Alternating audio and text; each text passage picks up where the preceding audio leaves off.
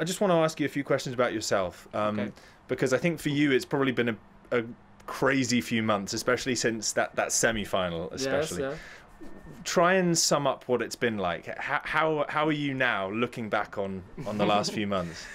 It's impossible to to explain to you um, the feeling when you score three goals in the uh, semi-final of cha- of the Champions League, the best championship in the world, and in the last second. So it's unbelievable. It was amazing. It was for sure uh, uh, my my best game in my career, and uh, really emotional.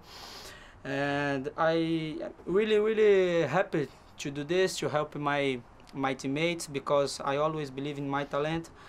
And when you work hard, uh, I am sure that uh, good things comes to you. Mhm. So that uh, what happened with me. I mean, you probably have created one of the best moments in Tottenham's history. What what does it feel like to be the person associated with that? Uh, I, I, I didn't create it uh, alone uh, because uh, I need to share it with my, my teammates. We did really well. was a tough game. I scored three goals, but uh, everyone was important. And uh, uh, when, like I said, when you worked hard, when you believe, believe in God, uh, think good, good things comes and I just need to say thank you because here in Tottenham I'm so happy. Uh, it's a new chapter of my life, Mhm.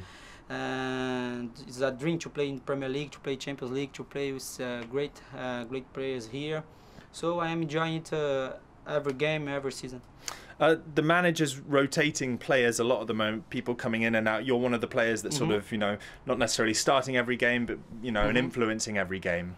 Um, you're giving the manager a good headache, though, aren't you? Because you're, you're scoring. What, what's what's your mindset like with regards to being in the starting lineup at the moment? My, my job is always to be ready. Uh, when I play, I need to give my best to help my, my team, and I, I am here to help.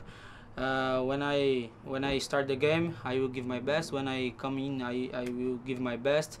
The most important is be ready to feel good, uh, and after is, is is a coach decision. Uh, we need to respect and uh, think in the collective. Uh, and I, I always I always do this. I, I- first I think in the collective uh, because football football for me is like this, and after in the end everyone will be happy.